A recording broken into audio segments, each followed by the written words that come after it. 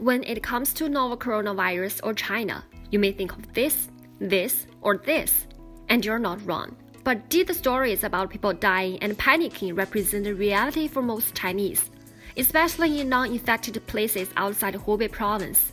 Absolutely not. And you'll know why after watching this video. I'm a New York based video journalist and came back to China for the Spring Festival this year. Unfortunately, I got stuck here after February the 2nd because of the US travel ban. So for now, I'm going to show you how a typical day looks like for most Chinese. The first thing I do when I wake up in the morning is to check the updates of the outbreak. The numbers are changing every day. As of now, more than 74,000 patients have been infected with the virus, and more than 80% of them come from Hubei province, according to data from China's National Health Commission. Data from the NHC also shows that after the spike on February 13th, which was caused by the change of the methodology used to calculate patients who are infected with the virus, the trend of new patients is slightly going down outside Wuhan. The high demand of surgical masks caused a great nationwide shortage in supply. To tackle the issue, Qingdao government put up a notice instructing residents to purchase masks via WeChat. To place an order, residents would need to make a next day reservation in the system with a maximum purchase of 5 masks each person. If reserved successfully, one would need to go to the specific pharmacy for pickup. However, when the reservation opens up at 8:30 a.m. sharp, all the masks will be gone in 2 minutes. The rapid clearance of masks begs one question. Are there real masks out there, or is it simply a hoax? In China, there is a saying food is the first necessity of the people. As online shopping has taken over China by storm in recent years, I decided to buy groceries online, which seems to be a much safer choice compared to going to a physical store. Even though there are many e commerce apps available, none of them actually met my needs. The first app I tried was called Liqun Wangshang, where there was no indication of when the groceries will be delivered. And the pricing? It was way too expensive. A cabbage, which weighs 4 kilograms, normally costs 8 yuan, or roughly 1 US dollar, while it costs 12 yuan on this app, up almost 50%. I also tried Fresh Hema, a popular e commerce platform under Alibaba for grocery shopping. Take the example of these pricey tomatoes. It costs 70 yuan for 2.5 kilograms. Normally, it costs 8 yuan for 1 kilogram. After a disappointing online shopping experience, I decided to shop groceries at a local store. I'm at the entrance of a local grocery store which is located on the outskirts of Qingdao, Shandong province.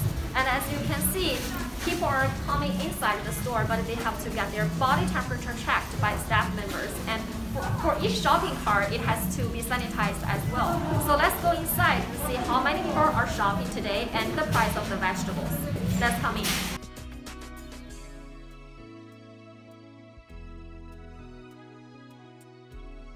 Inside the shopping mall, I don't see a lot of people right here. So it seems like the number of shoppers has decreased since the virus outbreak.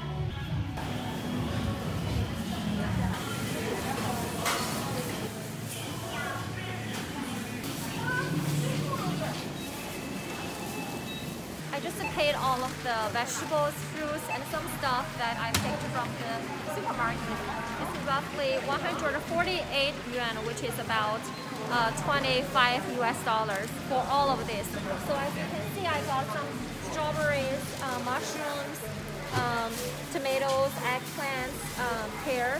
So I have pretty much everything I wanted, and it's actually fairly cheap to buy vegetables and fruits from here than going to the apps and buy it online. So I would come back often and buy stuff. It's pretty convenient. The only thing is you have to wear a mask, as you can see everybody does. So pretty good shopping experience, and um, I'm pretty happy about that today. In Qingdao, public transportation, including buses and subways, has been running without hitch. Starting from February 18th, all passengers who ride public transportations, including buses, taxis, and subways are required to scan their QR codes on WeChat or Alipay, which connected with their real name and contact information to purchase a ticket. At the same time, at the entrance of highways, there's also checking points for every car. Right now, he's checking my body temperature. 把后备箱打开。啊，他他没有。没有身份 You're 证吗？ checking 没有 the 身份证。 ID card. 他多大了？ if we don't have the card, we have to present our ID number. We are just presenting my ID card to the staff. All right. Now we're moving up here. Every day at 3 p.m. China Central Television will live stream a one hour press conference hosted by Chinese government officials with a brief announcement of the latest updates about the treatment and development of the virus. Journalists from many major Chinese media outlets will then ask questions. The coronavirus put China at a standstill as concerns grow over the timeliness of seeing the light at the end of the tunnel. Many Chinese have been staying at home without going out for more than three weeks. Streets are empty, restaurants and shops remain closed, and activities are cancelled. It was rare to see China look like this, and for most people, they are consumed with boredom. From the importance of improving China's public health defense system, to the consequences of inaction of government officials, to closing the loopholes in wildlife protection. China has definitely learned a lot from this crisis, yet by paying a high price.